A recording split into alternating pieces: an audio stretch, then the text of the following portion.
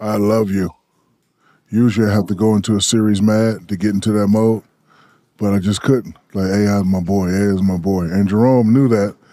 Uncle Jerome, you know Uncle Jerome, he didn't want me to be soft. So Dikembe says, I'm the defensive player of the year. We don't need the double team. So I'm, I'm, I'm just like, oh, we about to play Philly. I don't know. And Uncle Jerome brings an article. He said, hey, man, Dikembe said he's going to play you one on one. Bro, you just trying to get me pumped. I'm going to be ready. He said, no, that's what he said. So I looked at it and it was quotes. And I said, yeah. And then I'll be watching TV that night and he said, I'm Dikembe Mutombo. I'm the defensive player of the year. So now I'm pissed. So now the first play of the Yeah, game, I I get it. And this standing behind me, I'm like, oh, they're not going to double me? And then Dikembe made the mistake of 7-4 going to 6'11. And he put his face right behind my shoulder. I try to knock his teeth out of his mouth every Raised time. Yeah. Through the ball. I mean, just won't even a dunk.